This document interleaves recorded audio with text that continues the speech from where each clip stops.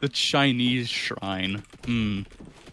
What shrine in particular? Oh, Chinese one. exactly. You know, my favorite religion, China.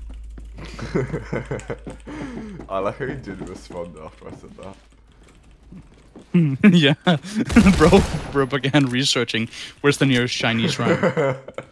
oh my god.